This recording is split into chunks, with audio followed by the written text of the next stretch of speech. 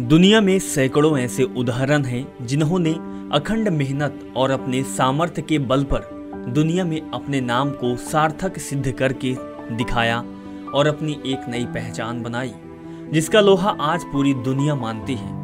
इनमें सबसे पहला नाम आता है दुनिया के सबसे धनी व्यक्ति, श्रीमान बिल गेट्स का। बिल गेट्स का नाम दुनिया में कोई नहीं जानता। आपको बता दें कि बिल गेट्स का वास्तविक पूर्ण नाम है विलियम हेनरी गेट्स। इनका जन्म 28 अक्टूबर 1955 को वॉशिंगटन के सिएटल में हुआ था। महज 18 साल की उम्र में उन्होंने पहला कंप्यूटर प्रोग्राम लिखा, जिसका नाम टिकटो टैग था, तथा इसका प्रयोग कंप्यूटर के खेल खेलने हेतु किया गया। बिल गेट्स इस मशीन से बहुत अधिक प्रभावित थे, तथा जानने को उत्सुक थे कि यह सॉफ्टवेयर किस तरह से काम करता है।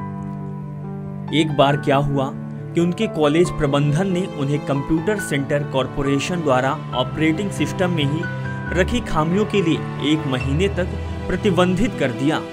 इस समय के दौरान उन्होंने अपने मित्रों के साथ मिलकर सीसीसीई के सॉफ्टवेयर में हो रही कमियों को दूर कर लोगों को प्रभावित किया तथा उसके पश्चात वह सी के कार्यालय में निरंतर जाकर विभिन्न प्रोग्रामों के लिए सोर्स कोड का अध्ययन करते रहे, और यह सिलसिला 1970 तक चलता रहा।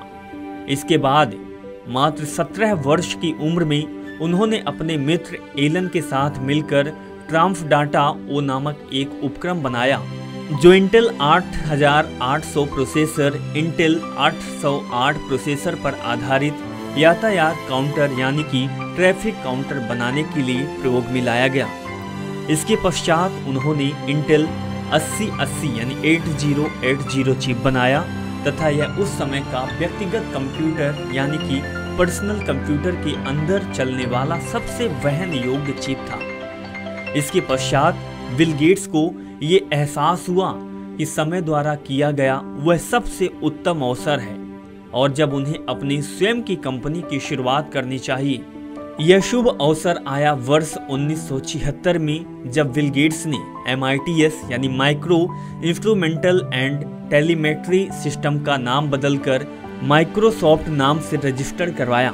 इसके बाद उन्होंने कुछ समय तक आईबीएम के साथ मिलकर काम किया और सफलता के शिखर तक पहुँचे और आज वो 1250 लाख डॉलर के मकान में रहते हैं। और उनकी कंपनी का सालाना रेवेन्यू लगभग 85.32 बिलियन यूएसडी है, जो पूरे विश्व में नंबर एक पर है। ये थी बिल गेट्स की सफ़र की कहानी, कैसे बिल गेट्स ज़ीरो से हीरो बने।